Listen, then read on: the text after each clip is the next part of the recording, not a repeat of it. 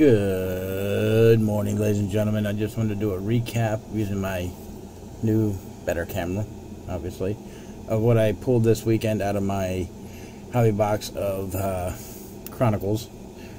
Yeah, Chronicles Baseball. First, we're going to look at the Austin Meadows. This is the red version. It is numbered 24 of 75. We have the Andrew Vaughn. Looks like I believe, Red Wave. That is number 60 of 199. Uh, let's go with this one. The Luis Patino. Very nice autograph. 25, 35 of 99.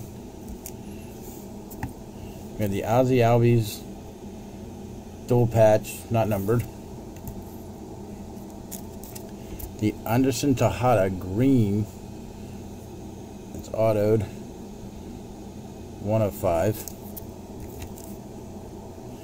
Pull the Lubob overdrive. Not, you know, not numbered or anything, but still Lubob. The Ascension. 13 of 25 Ivan Rodriguez auto. I'm just redoing this video and my coup de grace the 101 certified Ken Griffey Jr. Let's see, the first 101 I've ever pulled.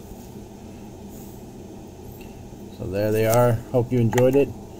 Hope to get more probably on Tuesday because Monday my card shop is closed. Hopefully this is a better view for everybody. See, it looks better. At least to me it does. So you all have a great evening. Stay safe. She knows how you want to be treated. Subscribe. Hit that notification bell hit the like button. We'll see you in the next flippity dippity video.